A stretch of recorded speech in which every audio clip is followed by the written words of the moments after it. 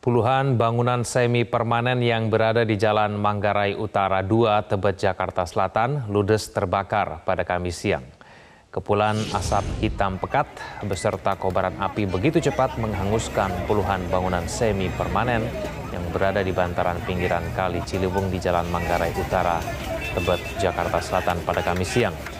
Petugas suku dinas penanggulangan kebakaran dan penyelamatan wilayah Jakarta Selatan yang berada di lokasi berupaya melokalisir api yang sudah membesar.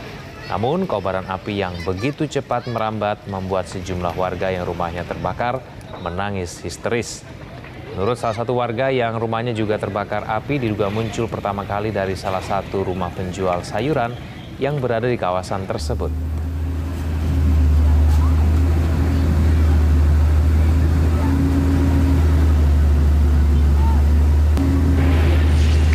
Jelajahi cara baru mendapatkan informasi. Download Metro TV Extend sekarang.